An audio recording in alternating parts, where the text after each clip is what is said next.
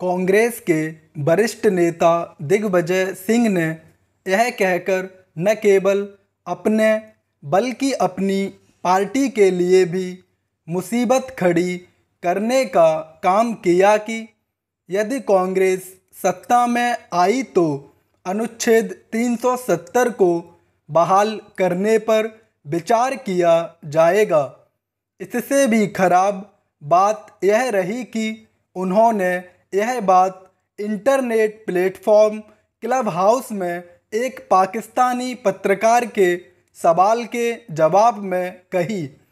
एक तरह से उन्होंने वही कहा जो पाकिस्तान कहता चला आ रहा है।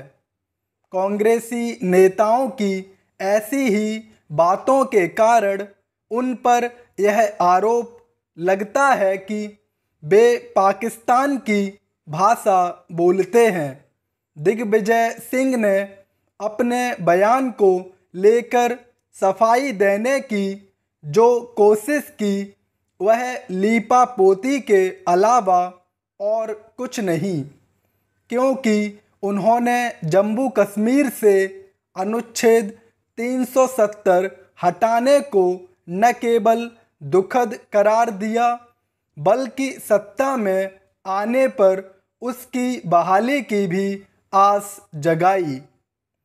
क्या उनके बयान को कांग्रेस का आधिकारिक बयान माना जाए? यदि इस सवाल का जवाब सामने नहीं आता तो यही माना जाएगा कि 370 के बारे में जो विचार दिग्विजय सिंह के हैं, वही कांग्रेस के भी।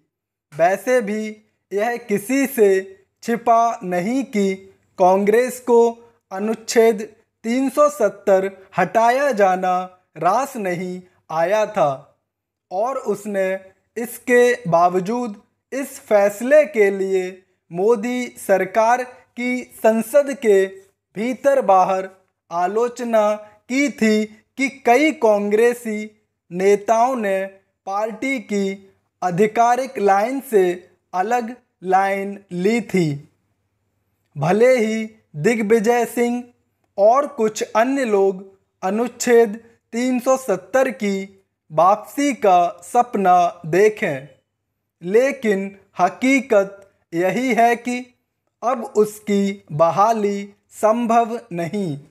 यह ठीक है कि फारूक अब्दुल्ला ने दिग्विजय सिंह को धन्यवाद देने में देर नहीं की, लेकिन भेदभाव को बढ़ावा देने, अलगाव की भावना पैदा करने और आतंकवाद को हवा देने वाले अनुच्छेद 370 की बहाली की बातों को देश कभी स्वीकार नहीं कर सकता। इस अनुच्छेद की बहाली की उम्मीद करने वाले एक तरह से दिवा स्वप्न ही देख रहे हैं।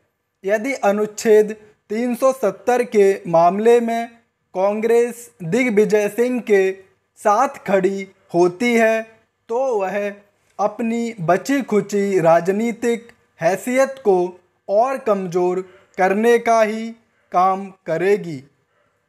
समझना कठिन है कि कांग्रेसी नेता रह रहकर ऐसे बयान क्यों देते रहते हैं? जो देश विरोधी ताकतों के मन की मुराद पूरी करते हैं। इस मामले में दिग्विजय सिंह का कोई जोड़ नहीं। वह कभी आतंकी सरगना ओसामा बिन लादेन को सम्मानपूर्वक संबोधित करते हैं। कभी जाकिर नाइक जैसे उन्मादी तत्व के साथ मंच साझा करते हैं। और कभी मुंबई हमले को आरएसएस की साजिश बताते हैं। उन्हें यह एहसास हो जाए तो बेहतर है कि उन्होंने 370 की बहाली की बात करके देश का अहित ही किया है।